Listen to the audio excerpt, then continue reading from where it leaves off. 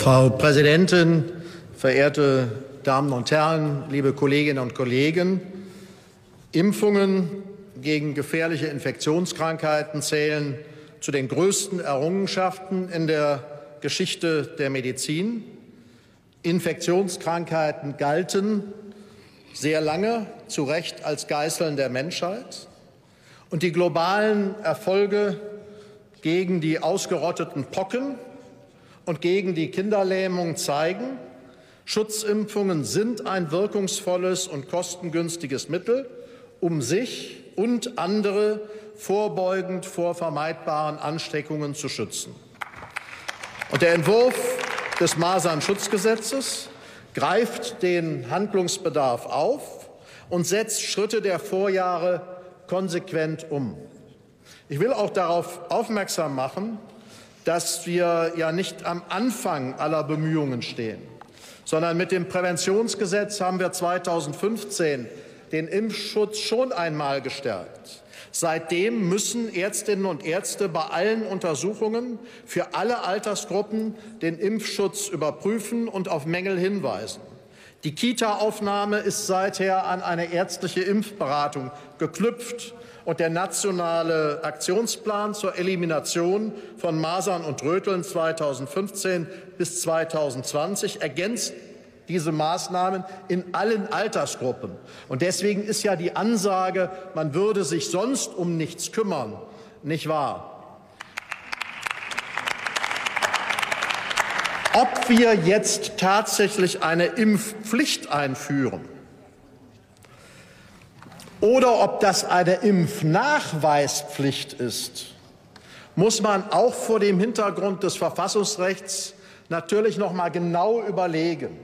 Meine Assoziation zur Impfpflicht ist ein Kind, dessen Eltern sich weigern, das Kind impfen zu lassen, bekommen Besuch von der Polizei, das Kind wird ihnen entzogen und wird in ein Gesundheitsamt gebracht und dort wird eine Pflichtimpfung durchgeführt. Das ist nirgendwo in diesem Gesetzentwurf vorgesehen. Und genauso wenig ist vorgesehen, dass die Weigerung der Impfung dazu führt, dass man die Schulpflicht außer Kraft setzen kann.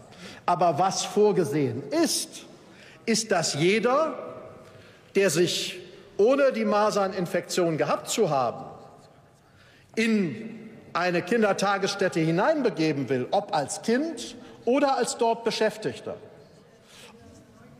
nachweisen muss, dass die Impfung erfolgt ist. Und genauso ist es bei den Schulen, ohne die Konsequenz, dass man die Schule nicht mehr besuchen kann, aber mit der Konsequenz, dass man ein Bußgeld bezahlen muss, wenn man nicht geimpft ist. Und in der Abwägung der Eingriffstiefe halte ich das für verfassungsrechtlich vertretbar. Und ich glaube, es ist auch geboten angesichts der Tatsache, dass man sonst und die milderen Mittel sind alle schon versucht worden in Deutschland, dass man sonst ein Risiko für die darstellt, die aus medizinischen Gründen nicht geimpft werden dürfen. Ob der Terminus Herdenschutz schön ist, weiß ich nicht. Ich sage da lieber, ich sage da lieber Gemeinschaftsschutz für. Und es geht darum, Kollege dass Henke, ja, ich habe die Uhr angehalten. Gestatten Sie eine Frage oder Bemerkung aus der FDP-Fraktion? ja,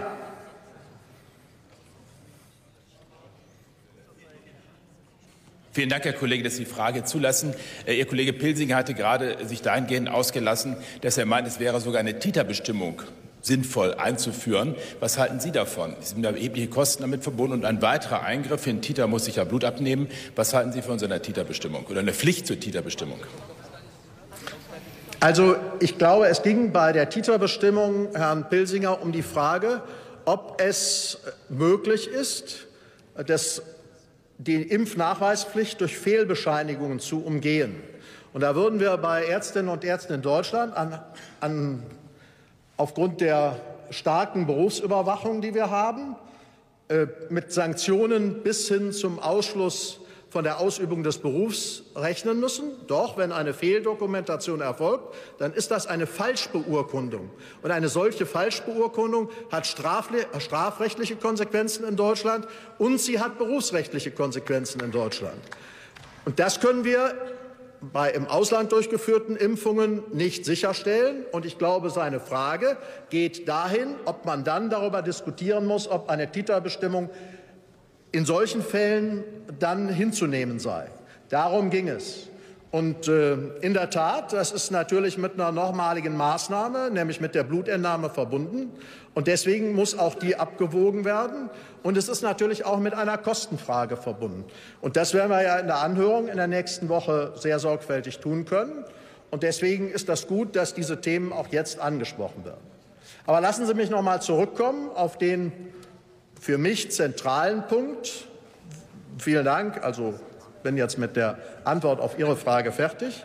Lassen Sie mich äh, noch mal auf den zentralen Punkt kommen, der darin besteht, dass die Impfung ein kleiner Nachteil, eine kleine Belästigung darstellt, die einen großen Vorteil für die Menschen darstellt, die selbst nicht geimpft werden dürfen und sonst schutzlos der Infektion mit einer Krankheit ausgesetzt wären, die sie das Leben kosten kann. Und ich glaube, in dieser Abwägung ist die Intention und auch der Ansatz, den der Minister gewählt hat, richtig.